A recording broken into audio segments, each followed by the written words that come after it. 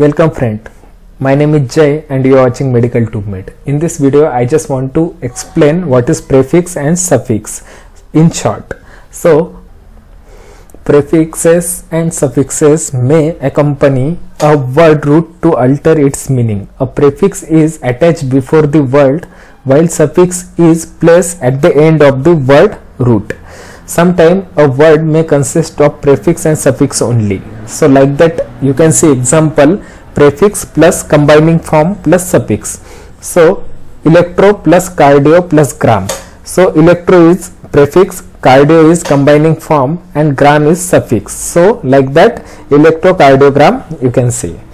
So in electrocardiogram prefix, suffix and combining form both you can see. Next example prefix plus suffix is hyperemia.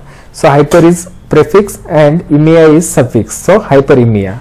So like that uh, you have to understand uh, what is prefix and suffix. The next, so here you can see prefix and suffix then meaning of uh, suffix and prefix then examples and then concept. So here you can see prefix. Prefix is hypo. Hypo means insufficient here you can see hypo hypothermia is low body temperature like that hypoglycemia is low blood glucose and hypocalcemia is low serum calcium. So like that suffix suffix is itis. Itis means inflammation.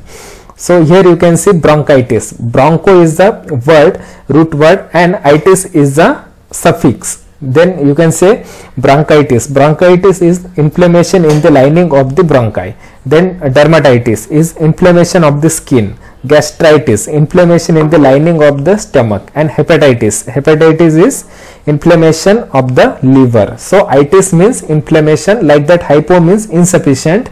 So like that prefix and suffix you can use in that words and in that root word.